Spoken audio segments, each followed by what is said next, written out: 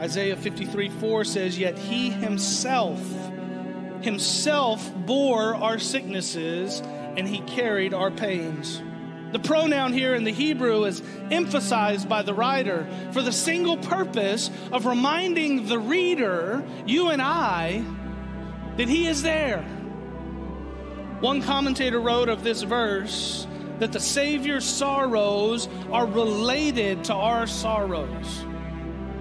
In other words, he knows our pain, he's felt our sorrow, he himself has wept at the tomb of someone he loved. He's battled temptations from the devil himself. He knows what it is you're facing. He is connected and concerned for all the righteous and the rebels